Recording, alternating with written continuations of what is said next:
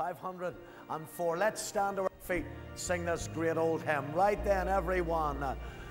Oh, can cheer the heart like Jesus.